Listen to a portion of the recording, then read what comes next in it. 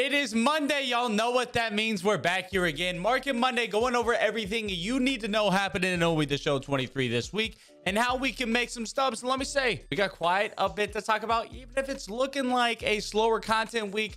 We got a nice investment play towards the end of this video that could pay off big time. So over the weekend, we did have quite a substantial market crash that we're still seeing some of the impacts from now. A lot of this stems from people selling off basically everything they can to rip packs in order to pull Tatis. I mean, for example, we got a Roki Sasaki uh, at 112K on the sell now. He was close to probably 100k on the sell now on the 22nd we got a card like jordan walker that was showing around 140 or so dipped down to 100 back up to 126 right now seeing that really across the board with a lot of cards. If you picked up any cards over the weekend and looking to flip them, sell them off, I don't hate that idea because we could see them dip again at some point in the future. We'll talk about that in a little bit later. We also saw a lot happen with our Diamond Duos packs that we got for free from the Charisma program driving down prices a ton on those cards specifically. We got a guy like Brooks Robinson here was showing around 37k, got down to 22k. He's 26,000 right now.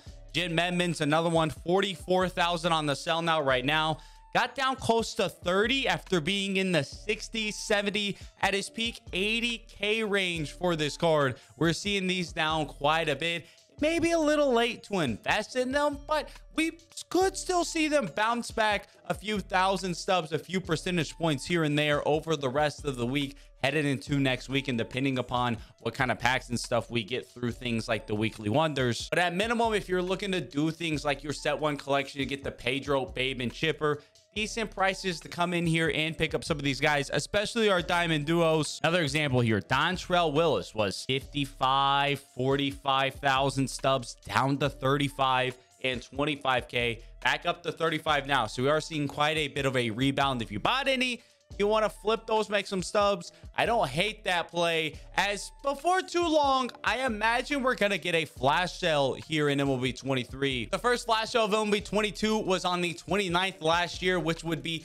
this upcoming Friday if they're basing it similar to what they did last year. I, we got to be getting one soon. So maybe that is going to be this Friday and we would see things like diamond duos cards around the world cards future star guys, all those ones in packs take some pretty significant drops if we get that. So for me, in terms of set one collection buying, I'm kind of just holding out until we get that flash sale. Probably going to get one per season, I would imagine. And that's going to be a huge day to get some progress towards those collections.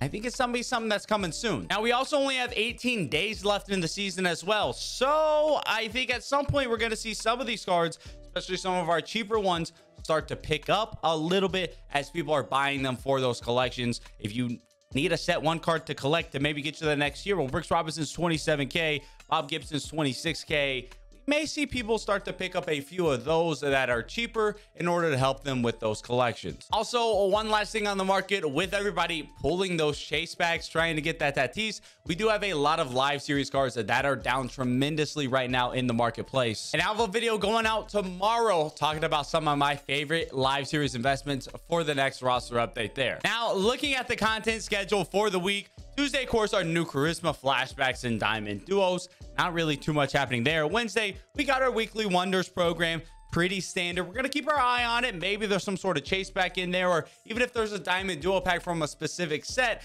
we could expect those Diamond Duos to drop a little bit. Could be a good day to pick up some of those. And then coming on Friday, we have quite a bit dropping this Friday, Mexico City Series, other program, Giants, Padres, and more, adding Topps Now Player Awards. That'll be huge for helping us get through that set one collection. A brand new pack with All-Star Game flashbacks and legends. I'm super excited for that. I mean, we get the 99 DeGrom? You know what I mean? And we'll be the show 21 DeGrom coming back maybe that is showing up there. But I want to talk about the Mexico City Series program, Giants, Padres, and more. Obviously, going to be a program based around that game taking place between the Giants and the Padres. And it would not surprise me at all if part of that program you need to use players from the Giants and the Padres, or you need to exchange players from the Giants or the Padres. So if we can come in here and get in some guys at quick, I mean, Ross Stripling right now has zero sell now orders. So he is a quick sell card.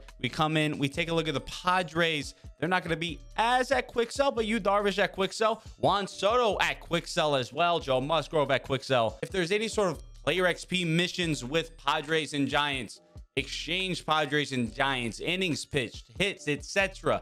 Any sort of missions involving those, I do think we could see these cards coming up. And also the Weekly Wonders program has been featuring teams that you need to complete missions with. And so maybe with the Mexico Series game happening this weekend, that is where they use the Padres and Giants. If they do use them in the Weekly Wonder program or in the Mexico City Series program, these cards should go up depending upon what it exactly is. But for example, we can come in here and get Juan Soto and Joe Musgrove at quick sell value. The risk-free investment Worst case scenario, you quick sell them back off. Best case scenario, they jump up in price from people coming in and buying them for missions or exchanges, and you can cash in on a decent amount of stubs. You could look at flashbacks as well, but I'd probably be focusing on live series cards, especially if there's an exchange basis to it. Live series are going to be the play that everyone's looking at. And furthermore, with a guy like Soto, doubles as a great investment as well. Obviously not had the best start this year in San Diego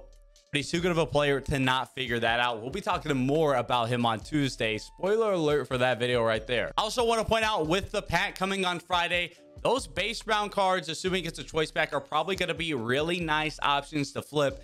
Generally can make some really solid profit on base round choice packs when those drop in the marketplace. And if the rewards in the rare round are really good, we could see something similar to what we had happen with that Tatis this weekend, where people are selling off cards to then buy those packs. So keep that in mind as well. Could see a market dip happening there. Combine that with a flash sale chance opportunity. I think we see the market dip again this weekend possibly for the last time before the season two drops as people start hurrying up and trying to buy some cards to complete those collections before the end of the season. So that is what we got today. Real sneaky play with the Giants and Padres going on there. Huge content week last week, a little bit slower this week, but Friday looks to be a really good day for stub making. As always, you got any questions, hit me up down in the comment section below. And until next time, I'll catch y'all around.